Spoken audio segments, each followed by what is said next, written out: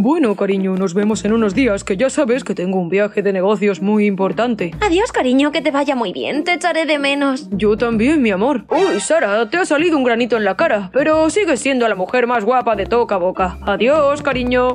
¿Un granito? ¿Ha dicho granito? Vamos a ver ese granito.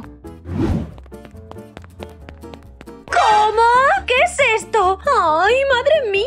Pero esto más que un granito es una catástrofe. Mami, ¿pero por qué gritas así? ¿Qué ocurre? ¿Hay fuego en casa o algo? No, es algo mucho peor, Luna Junior. Me ha salido un grano enorme en la cara. Estoy desfigurada. Pero mami, qué exagerada eres. Es solo un granito de nada. Si no se ve casi. Ahora supongo que me entenderás un poco mejor cuando me quejo del acné de adolescente, ¿verdad? Luna Junior, eso es más grave de lo que parece. Por favor, lleva a tu hermanito al cole. Me voy derechita a la farmacia para que me quiten este estropicio de la cara. Vaya tela. A mi madre le va a dar un soponcio. Forevers, mandar muchos likes para que el granito de mi mami desaparezca de su cara. Suscribiros tocando la campanita y quedaros hasta el final para ver cómo termina este drama.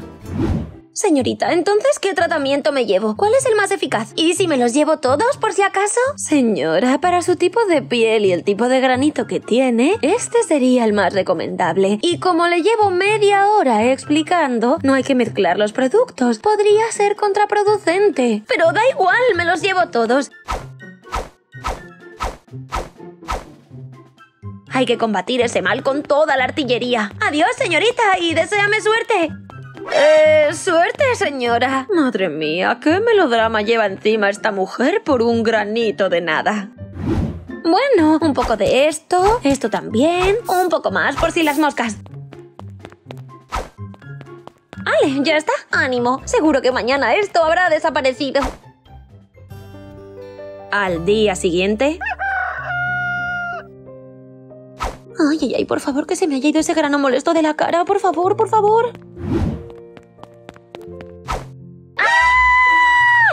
¡No puede ser! ¡Me quiero morir! ¡Tierra, trágame!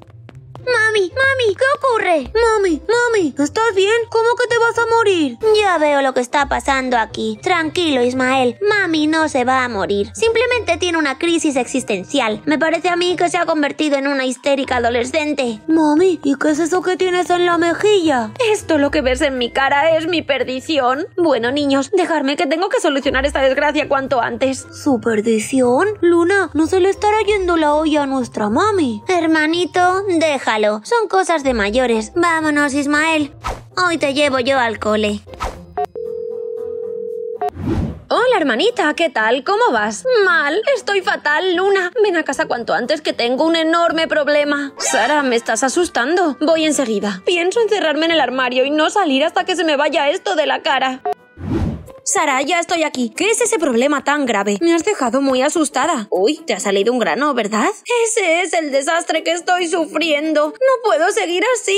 Se ve más a ese grano que a mí. Sara, creo que exageras un poco. Tranquilízate. Efectivamente, el grano está un poco grande, pero es normal. En un par de días irá desapareciendo. No puedo estar así un par de días. No puedo salir con esto a la calle. Luna, aquí veo solo una solución posible. Tengo que hacerme cirugía estética. ¿Cirugía estética? Sara, se te ha ido un poco de las manos, hermanita. ¿Cómo vas a pasar por quirófano por un grano? Dime si conoces algún médico que me pueda intervenir cuanto antes, o si no, me buscaré yo la vida. No puedo seguir con esto en la cara. Es de vida o muerte. O el grano, o yo. Vale, vale, está bien. Eh, conozco al doctor Yamato Tukara. Me han dicho que es bastante bueno. Madre mía, ¿pero qué es ese nombre, Luna? ¿En serio es un buen cirujano? Pues tengo entendido que es japonés y es un médico muy famoso. Ahora es un poco caro, pero hablan muy bien de él. Luna, da igual que sea caro. Aquí no puedo escatimar en los medios. No se hable más. Vámonos a verle ya. Esto es muy urgente.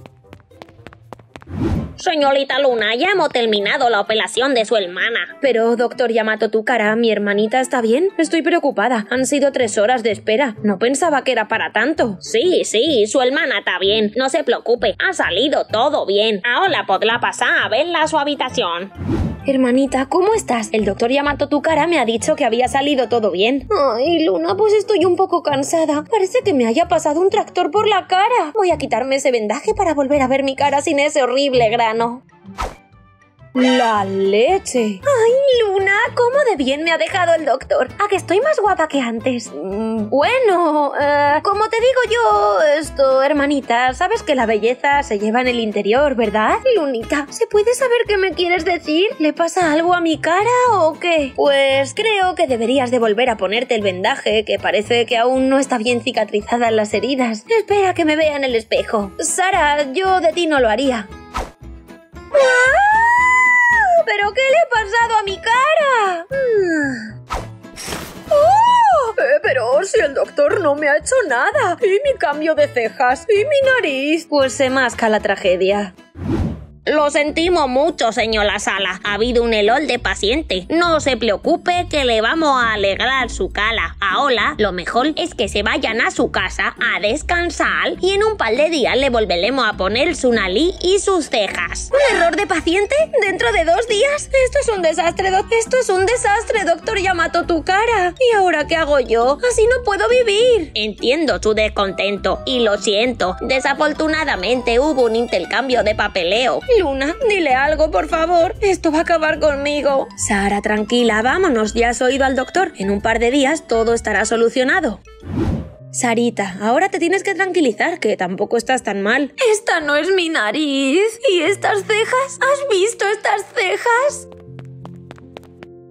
Mami, ¿eres tú? ¿Pero qué te ha pasado? ¿No te ibas a hacer cirugía estética? Veo que el señor Yamato tu cara tiene un nombre acertado. Mami, qué guay, te has disfrazado. ¿Nosotros también nos podremos disfrazar? No, Ismael, no es exactamente un disfraz, pero tranquilos, que en un par de días todo habrá vuelto a la normalidad. Niños, están prohibidos los comentarios acerca de mi cara en esta casa y fuera de ella. Vaya tela la que nos espera. Estos dos días van a parecer una eternidad. Sálvese quien pueda. Hola, familia, ya estoy aquí.